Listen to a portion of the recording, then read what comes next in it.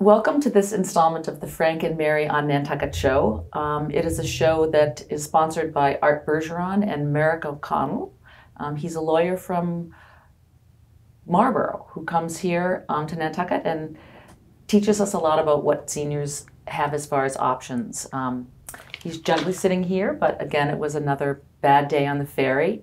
And so I'm here with our guest, Jason Bridges, a select board member, Jason Bridges, to do this show. Um, thank you for coming on. Thanks for having me, Yeah, Alison. no, we love having our, our elected officials join us on the show to give us the real scoop. Um, and I know that town meeting is coming up, Mm-hmm. and we'd love to have you share some of the things that may be that are important to seniors and their families here. Um, but 1st of all, Mm-hmm. Yep. channeling Arthur, he always likes to know how you got here. Are you a native of Washashore, or tell us a little bit about yourself? I am 100% a Washashore. so I've been here for 21 years. I came in 1999 for just one summer. So it's the usual Me too. classic story of Nantucket. 79 for me, though. 79? Yeah. Wow. My daughter's a native though, so that gives me a little clout, but not, yeah, I'm not a native. So my, my, my two year old was born here on the island. Um, I, I, I was in the service industry. I worked at Food for Here and There. I don't know if anybody remembers that pizza place. I was here for 40 years. I did that for 10 years, and then I started a bike tour company, and then a coffee shop, and then started getting involved in nonprofits and volunteering for a clean team, and just kind of got that taste of service to your community, and so just kept kind of kept adding on, and then you know ran for the select board three years ago. and ago. so you ran for the select board three years ago, Yeah. and your term expires April 14th this year. April 14th, so you'll be on the ballot Yeah. this year. Yeah. Ah. well, um, if people watch the select board meetings, and Mm-hmm. I mean, it's becoming much bigger deal, I think, than it has been in the last, you know, the 20 years prior, anyway. So um, we're glad to have you. It's a very time-consuming job, and we thank people who have the kind of commitment that you and the rest of the board have when it comes to your free time Mm-hmm. and what you choose to give to the to the community. So, um, so a couple of things to start off. This will be the very first electronic voting. Yes. So, can you do you know what that's going to look like? Just not a big deal, but do we each get an iPad when we go in, or It's uh, it's even simpler than that. You get a just call it a clicker. You're going to get a little clicker when you sign in. They're going to give you the clicker. They're going to hand it to you, and it has a yes or a no on it. That's it. No abstain, nothing else. So when when the vote comes up, you push yes or no. I don't know exactly which ones were which version we're using, but there'll be some kind of confirmation that your vote was complete. If you you know because you're not sure if you clicked it or not, you could click it hundred times and you only get one, One. vote. Just in Oh, case you were in case you were thinking of trying to sneak some extra votes in. Um, and so it's going to be really, really simple. Like we didn't even want the abstain on there because we didn't, for the first time, we didn't want anyone, anybody to be confused about it. So it's to be really simple. We only have it for Saturday. So if town meeting goes to Monday or Tuesday night, then we'll go back to the old school way of just kind of raising our hands.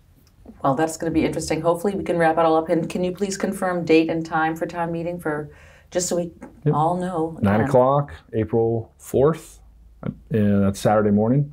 So we kind 9 a.m. Saturday morning, April 4th. of, yeah, we'll be done by four o'clock. I'm um, just, hopefully, who knows? And there'll be a break for lunch. Yep, there's usually Okay. a break, and there's uh, there'll be food available in the cafeteria. And Great. So there's uh, there's nutrition there and water and, and, and all that. I think the electronic voting will speed things up. Like all, think about all the time, the extra three or Yeah. four minutes, the clickers, you know, people counting. We're not really sure. You count again, so it'll be quicker. Uh, so that's a good thing. Uh, I think because it's new, I think we're just going to have to see how it goes.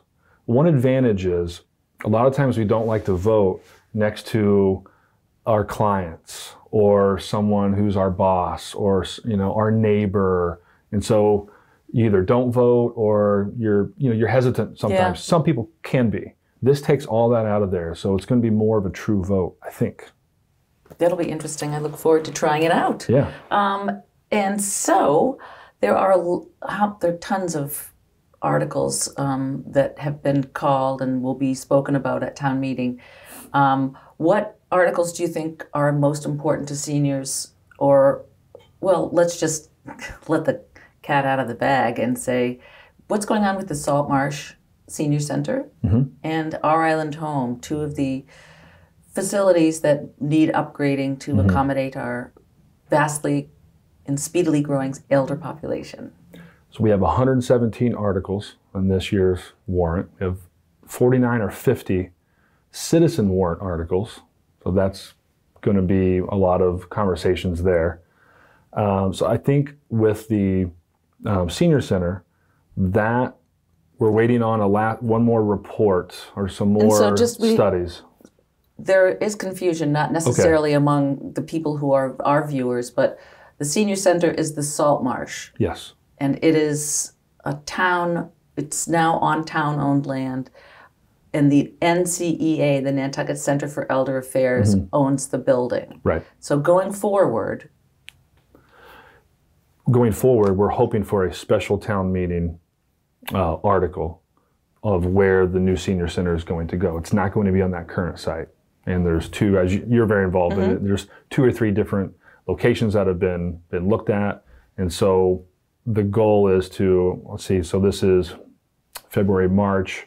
By this, I think you have to have the warrants articles in by June or July to know where we're going to head in what direction, and then we can ask for appropriation this at the fall town meeting, and, then it's then it's a real thing. and so this town meeting what will the discussion be or will there There won't be anything for the senior center for Salt Marsh great so because we, we it just we couldn't get the studies done in time before the warrant was was um, need to be finished and completed. But on our island home, there was a lot there that we've can, and as you know, we've been kind of backtracking on a little bit. It was originally was going to be a five million dollar ask and appropriation for design of the new our island home building. And, and, if- and then in a fall town meeting, there would have been a fifty million dollar ask for the new building. And so, for many different reasons, one was we only had one option, and we thought that we should have a, look at one or two or three different options mm-hmm. for that location, where currently our own home sits. three different options for that one location Right. Instead, uh-huh. of, you know, maybe the, I don't want to speak out of the mm-hmm. terms. I'm not on the kind of the the mini work group, or I'm not up to date completely on where it's at. So I, I want to say we we did pull back a little bit. We're not going to ask for the five million at this year's town meeting for a design on something that we don't feel is 100% vetted. And if we went through with this design and then went and asked for 50 million dollars and that didn't pass, that would not be a good thing. So I think we need to do a little more homework on uh, is it 45 beds with the kind of the current setup on the current site. Uh, it, it's it's so I- Right. I, I don't even know where to start on this. It's so complicated. I don't know how much you want to talk about this, but we, we did pull back a little bit, not in the sense of that we're not going to get things done. It's to have a little more choices and look at some different um, options for that site. Home health care, different offices. Do we need 35 beds? Are, are 10 beds just for this? And this is a little over my pay grade Um, on all the ins and outs of it because it's so complicated with a, a Medicare, a Medicaid bed, and all Right. these, these well things. so let's so when it comes to this town meeting what what is going to be decided with regard to our island home Not much. Just the the budget override. That's, that's- the main thing. That's, that's the big, big one. that's a huge thing But nothing with a new building. Oh, right. okay I think there might be a little bit of money, 100,000, 100, 200,000 to, to continue the studies. Mm-hmm. But I don't think that's in, that might be just in the overall um, budget in the general fund. So, what do you? When do you expect that that the discussion about the five million dollar override will be on the schedule of the day? A- Any idea when when that It'll, it'll be in the beginning. I think beginning. it'll be called because it's in, and I'm not sure which article it's in, if it's Mm. in eight, nine, or 10, but it's not, um, it's within the bigger article of our overall budget. And so it would be $5 million, would most likely start in fiscal year 22, which would not be this July 1st. Let's assume it passes, right? Mm-hmm. It would most likely start not this July 1st in 2020, the next year.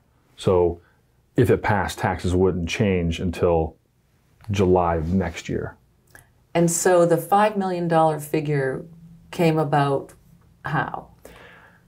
I want to try to Yeah. make this as simple Yeah, no, as this is possible. this is we aren't holding you to any of this. So there's something called the CPE funds that we get from that um, have been helping us with the shortfall of our island home. Right? It's it's four to five million dollars a year that it loses, but we've been getting this. Um, consider it like a free cash from for an enterprise fund, and for a while the CPE funds have been, been really good, and so it's been it's been keeping that um, five million dollar loss down, right? But now the CPE funds are kind of going away. So what's going to happen is that $5 million is actually going to be, let's say now it's, it's 2 million that's coming out of our general fund. So this is our whole general fund. 2 million goes to taking care of our own home, the shortfall. And the 3 million is covered other ways. And so that's operating budget. It's operating. Yeah. But when this other funding goes away, mm-hmm. now it's 5 million. So that extra 3 million is going to come out of all the other departments, all the other services. We're going to have to cut to cover it because this other funding source is going away. That's the basic way I can explain it. So doing a budget override, one, it, it will increase taxes, and we can get to that because we were talking about it before we started here tonight on what that would actually, um, what the impact would be. It would, it, so it would allow the general fund to stay whole and also give a little more room for, for more services. So some people have said like, well, it's going to be a big money grab for this extra room in the general fund, right? That one or two million that we that it's going to open up, right? And we'll have to decide on where those funds are going to go. And so what if the funding does not drop off? Then we will have to start cutting services. No, no, I mean, Oh. uh, is it, so say like the the three million that's been coming Oh, in from from, the the, state, yeah, yeah. from the state. What Yeah. if that continues? Because is is that a guarantee that that money's going to stop? Pretty much. Oh, really? Yeah, that's what our finance director, and that's what he has been worried about as he, he knows this is going to get lower and lower and lower. And is that because we're the only municipal nursing skilled nursing facility in the state, or some of that is there, but it's uh, when I ask our financial our finance director, it's so complicated. After about five minutes, I'll say, Brian, can you just yeah, pull it down? It's really Yeah. complicated of, of how we get these funds. But we know they're going to go. We we always knew they were to go away at some point, but we didn't know when. So we were kind of running on borrowed time for a while on this, you know, five million dollar loss for Island Home. Right? I mean, just- I yeah, I always I always think I wonder if there's a way that we can be recognized by the state as and guarantee ourselves to get funding from um, from a state source since Mm-hmm. we have no other option. So that's something that I'm going to pursue and have started and will Right. with our with our representatives um, Julian Cyr and Mm-hmm. Dylan Fernandes. So they are they are listening and, and on it, but it would be you know it's almost like a ferry service to have a skilled nursing facility. It's a public utility. So anyway, Right.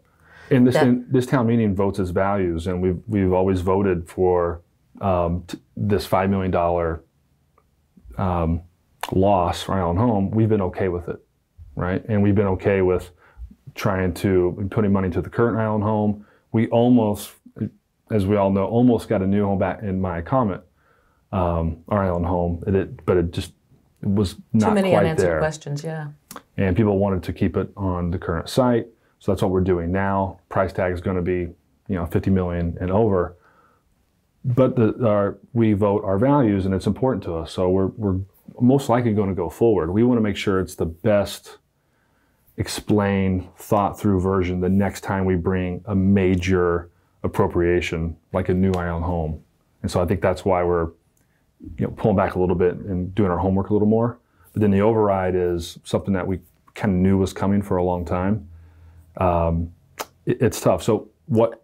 Well, so you know, first of all, if at town meeting we all push yes for our island home Yes. and it and it passes, Mm-hmm. then there becomes the challenge at the ballot box Right. on April. No, when is the vote after that? 14th, April Yeah. 14th. Yeah, so 10 days later.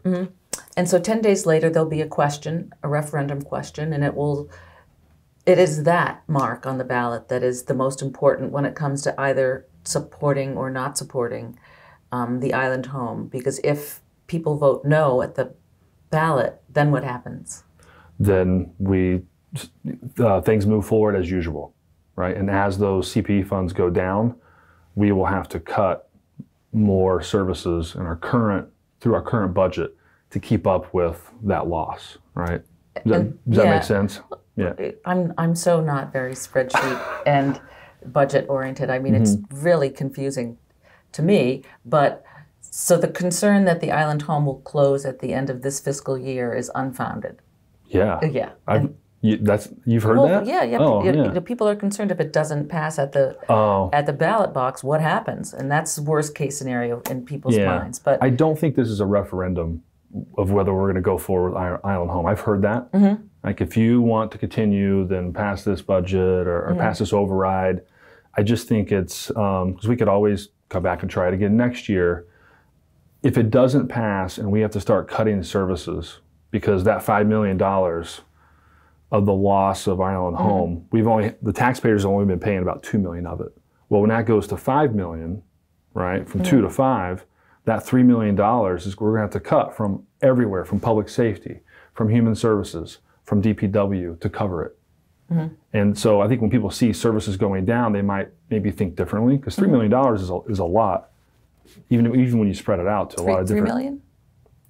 The median house price of we won't No, get but into in, that in yet. services, Right, right? Right. You, you have to cut positions and Yeah. Yeah. So when it comes down to what is it going to cost the average year-round taxpayer, and you know one thing that I always think about is that we're supported so so much by people who don't live here and don't Mm-hmm. utilize our services that that sort of is a little bit of a bonus for the people who live here because so many other people are sharing in the costs of running our our everything. Mm-hmm. So when it comes to the cost of to each individual household, explain what the costs for those households would be. Mm-hmm. So one thing I usually say is nine out of the ten teachers are paid for by people who will never use them, who are only here in the summer. Mm-hmm. Right, eighty-nine percent of our property taxes are paid for by summer residents, non-year-round residents. Eighty-nine percent. Yeah. Wow. So I always to make it easy, it's like nine out of ten teachers are paid Yeah. for by nine out of ten potholes are fixed by the a funding source that is only here mostly in the summer. Right. I mean, So- I think that's um, um, amazing. We're, that, we're very fortunate in that sense. yeah. That being said, it's still very expensive to live here, and the taxes still aren't easy to handle, Mm-hmm. especially if you're on a fixed income. Right. So so monthly, what did we calculate the override for our island home would cost? On an average house of 1.3 million, if you take the residential exemption, um, which m- probably most of us do, so let's assume you take the residential exemption. if you exemption. don't do it, you better. You yeah, ought to. you should. Yeah, uh, it'll be around fourteen dollars a month additional cost to your taxes for the budget override of five million. Mm-hmm. Now, there's other items on town meeting that, that could potentially add to that if those pass. Mm-hmm. Other appropriations. There's also certain things that are coming off our books as well, which we never really like to talk about. Why, why not? I don't know. I think if um, I think town officials think if, if they tell everybody that these things are coming off our books, it's a an action item to spend more money, Oh, right? So they don't really like to talk about what's coming off the books. You don't ever really hear about it in town meeting or right. or anywhere. But it's um, we have you know Newtown Road, we've got Lovers Lane, we've got um, the Children's Beach stormwater and that pump station, um, and we have the the Waitt Drive, Amelia Drive area. Those all total about twenty million dollars in overrides, right? In, in kind of debt overrides that they, we'll be able to vote for it at the ballot box, in addition to the five million. Mm-hmm. Well, I just like to think about the high note part of how ninety percent of the costs to our town are paid by people who don't use them. I mean that Well, they use them, but just for three or four months. Right. they don't use the public school system. They Right. don't use our island home or maybe the Saltmarsh Center a little bit. But what a bonus it is for people who live here and pay taxes year round to have that kind of support. Yeah. Um, so if you take that and you, you look at the average of $15 million a year that's donated to all the nonprofits and all the different you know, areas of the island from kind of the wealthier visitors of this island, it's still difficult to live here. Mm-hmm. Right? It's still Yeah. challenging for our seniors, for people who are young, I mean, for, every, for everyone, families, childcare. Mm-hmm. Like we have a lot of challenges. Yes, we do. So, what are some of the other things at town meeting that you think would be, or other things in town government that you think would be important to seniors? I'm a big transportation guy. Mm-hmm. I love thinking about transportation. I have a bike tour company, so I'm on the roads a lot. I walked here from downtown mm-hmm. to do this interviews, and I I think we we overall, the policymakers at the select board, different committee members, and different town departments need to think more about aging on Nantucket in general. So our strategic plan that we, we did a couple years ago has housing, transportation, and the environment. And there are some aspects that look at um, aging on Nantucket with housing, but it's it's not the main conversation. Our island home and the senior center, which are very important, take most of the time when you talk about any initiatives for seniors. I think we need to we need to add in transportation. You know, getting to appointments. Um, there's an article in the paper today where I'm quoted as saying uh, the NERDA year-round service should be free to seniors in the off season, not on Wednesdays, not once a month, always. Right? I think there can be vouchers for the for the taxis that we can find some kind of system where if a senior needs to get somewhere that's not on the NERDA route and it doesn't fit with the time, that they can just take a taxi and use a voucher. Right? There's got to be little ways that we don't have to make the taxi drivers pay for it that we can we can help people get around. So I'm, I'm, um, I think access is really important. Whether it's access to the Salt Marsh Center to connect with other people, access to getting to your appointment on time, on island and off island, Or church, or or church. Yeah, yeah, yeah. Any, anywhere you want to go. the that- movies. yeah. Or, right. And, and so, is there an active work group right now in the town government working on on that type of? not on those expansion? not on those specific things. Mm-hmm. I am like I'm voicing it on our select board meetings. I've been coming to uh, different meetings for the human health, Mm-hmm. you know, health and human services to try to educate myself on where I can help. I I don't think this is a, a ten million dollar problem. I just think it's focus of all of our time to think to come up with different solutions. And so, I thank you for coming to the Age and Dementia Friendly Initiative workshop, of which I'm I'm very um, interested in. We've had um, a facilitator come to do to lead three workshops um, on how Nantucket can become age and dementia friendly. Um, but to you know, and I'm and I thank that you and Taylor and you know Janet and all the people from the town who are attending that. But I'm wondering how we can move it to the next level and have that be a forum to talk about some of the things that are um, challenges in our town for people. The 31% of the people who live on Nantucket Right. that are over 55.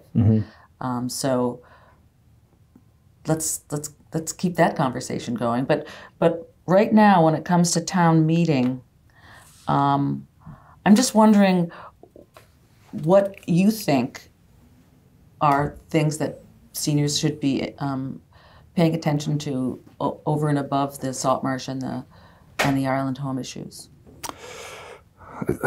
I mean, of course, everything. I feel like it's everything. Yeah. Um, and I, I wrote some, you know, I went over the uh, the warrant this morning to kind of look at what are the things. Obviously, anything that's going to hit your taxes are going to be important, right? Because if you're living on a fixed income, that's if your taxes go up fifty dollars a month or thirty dollars a month, you have to find where that's going to come from.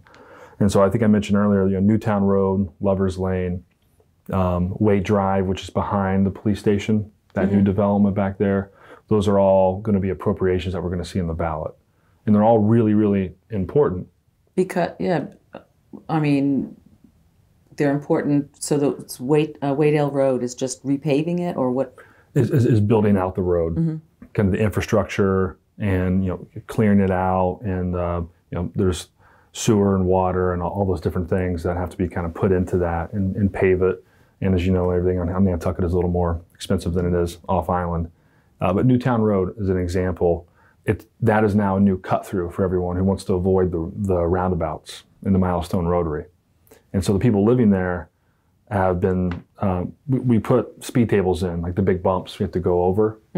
But that whole road needs to be reconstructed, and we need a proper sidewalk. And we have a daycare facility there, and people just are shooting through really fast. So there needs to be, um, you know, a, a separated bike path or a multi-use, you know, sidewalk that's wide enough for people to walk, which is one of the initiatives of the select board is to have more walking paths Yeah. in Mid Island that connect to downtown, right? So people can walk safely. We we can't ask people, we as a community, to not drive, to drive your car less if we don't have safe places to walk, safe places to ride your bike, year round transportation, Satellite parking. satellite parking, accessible parking, um, accessible transportation for, for seniors, for commuters, people who work downtown. We got to think about about everything, right? And nobody, it's easier for me to say, Alison, I like you to drive less, but I still want to drive my car around, Right. right? Right.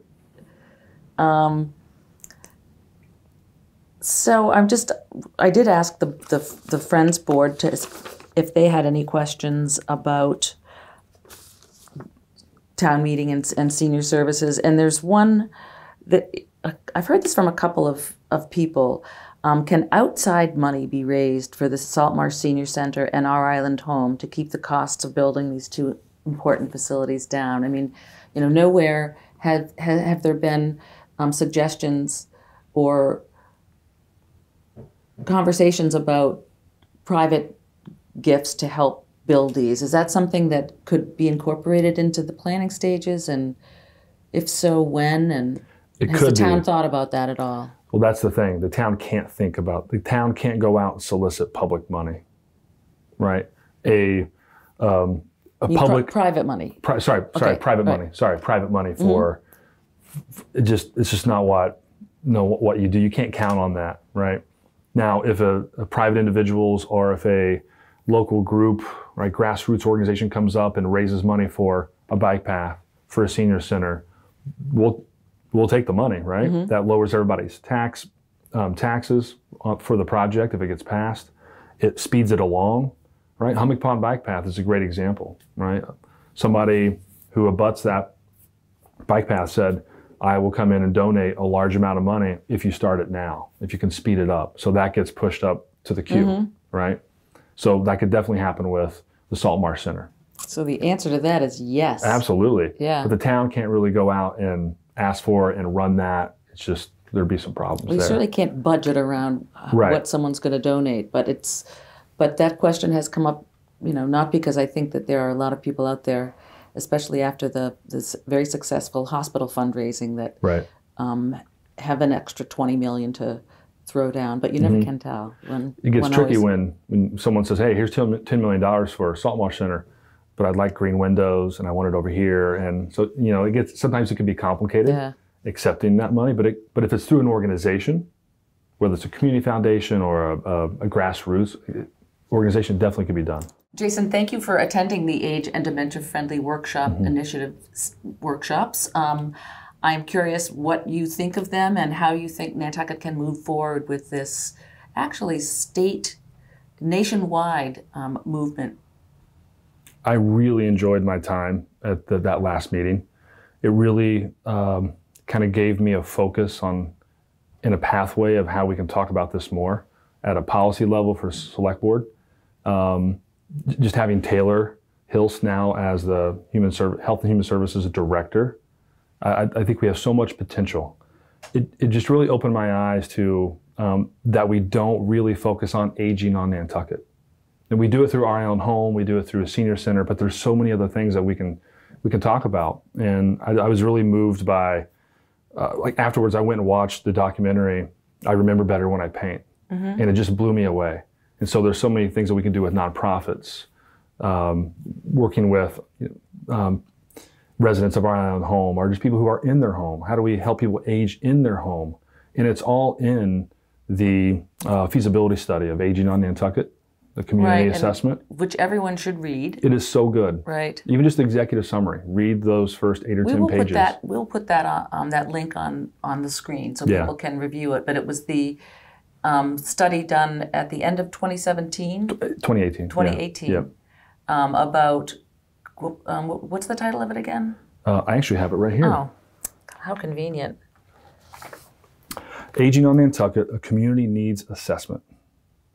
And it was done as um, I think Remain was a funder, and the NCEA put that together, Mm-hmm. and it was done by UMass Boston, which is the very first step when you are trying to become an age and dementia friendly community. Mm-hmm.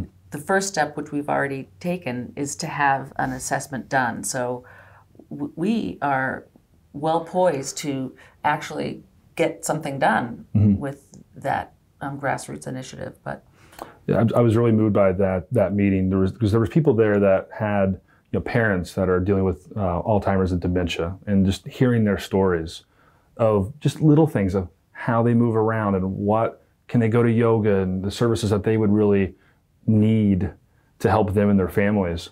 That and they're at home, right, and are in their home. And I thought there's more that we can do. There's more that the select board can talk about from a policy issue, right? There's, there's little things that we like we did this year. Uh, there's we have a substance abuse stabilization fund that we can take some of the money from the short-term rental tax and put in it. We added in mental health, so it can be used for substance abuse and mental health. So to me, that that's Alzheimer's work, dementia. It's you know bringing the arts into um, you know aging on, on Nantucket community and yeah, and also you know, caregiver support needs to be um, in for all of those um, you know populations. Um, needs to also be included as a focus. Um, well, we look forward to seeing you. at The the postponed. There was a session planned for today that has been postponed until next Thursday, which is March fifth. 5th. So it'll be Thursday, March 5th at the Nantucket Athenaeum. Um, we are downstairs between 2 and 4 p.m. in the gallery this time, and everyone is welcome. Um, whether you know someone with, with dementia or have an interest in transportation or art or therapies, um, we need all the people we can with their great ideas. So please do join us. Thanks.